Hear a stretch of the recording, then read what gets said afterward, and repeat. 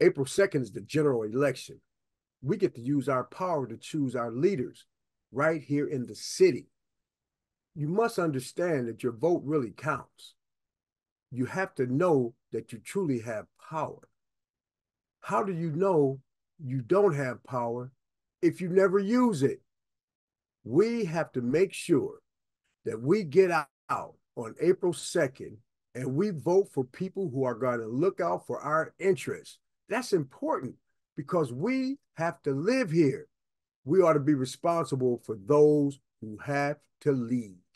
Go out and vote April 2nd.